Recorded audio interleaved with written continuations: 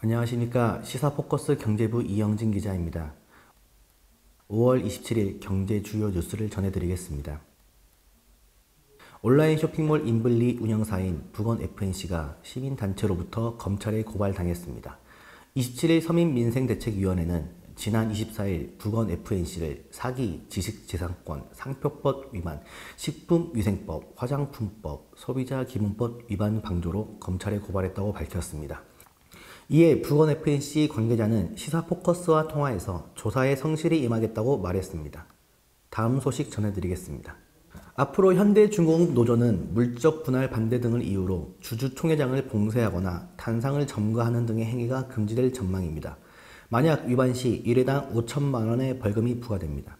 울산지법 제22민사부는 이 같은 내용이 담긴 주주총회 업무 방해 금지 가처분 신청에 대한 일부 인용을 결정했다고 밝혔습니다. 앞서 현대중공업은 지난 14일 전국 금속노조, 현대중공업노조, 대우조선노조 등을 상대로 주총 방해 행위를 금지해달라며 법원에 가처분 신청을 제기한 바 있습니다.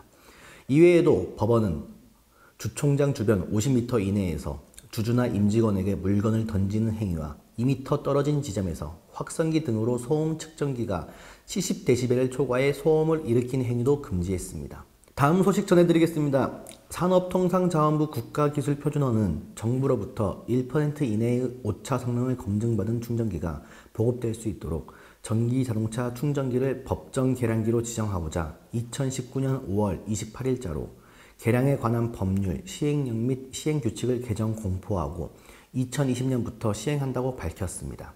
그동안 전기 자동차 충전 요금의 부과를 위해 개량법에 따라 형식 승인을 받은 전력 양계를 이용해 왔으나 급증하고 있는 이동형, 벽부형 등의 충전기에는 기존 전력 양계를 활용할 수 없었습니다. 또한 충전기의 개량 성능을 충전 사업자 자율에 맡기다 보니 정확하지 않은 개량으로 인한 소비자의 민원과 요금 분쟁의 가능성도 있었습니다.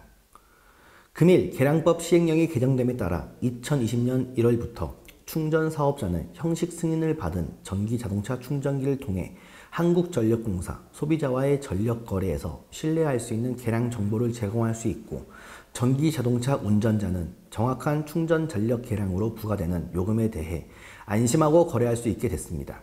다음 소식 전해드리겠습니다. 직장 생활을 10여 년 하는 동안 직장인들은 평균 5회 정도 회사를 옮기는 것으로 나타났습니다.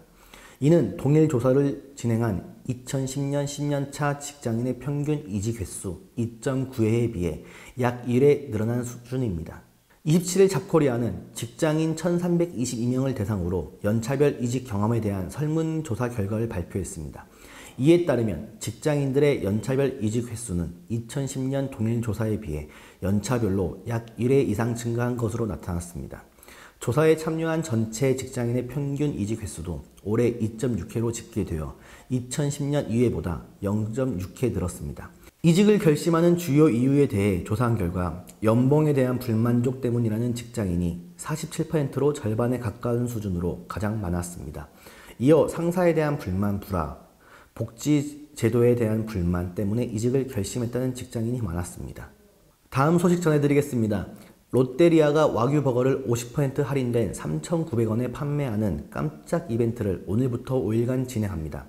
롯데리아에 따르면 오늘부터 31일까지 5일간 오전 10시부터 오후 10시까지 와규 버거를 할인된 금액에 판매합니다. 롯데리아 관계자는 업계 대표 프리미엄 버거인 와규 버거를 그동안 사랑해주신 고객들에게 보답하기 위해 이벤트를 기획하게 되었다며 앞으로도 많은 고객분들이 부담 없이 프리미엄 버거를 경험할 수 있도록 다양한 프로모션을 운영할 예정이라고 말했습니다. 이상 시사포커스 경제부 이영진 기자였습니다. 감사합니다.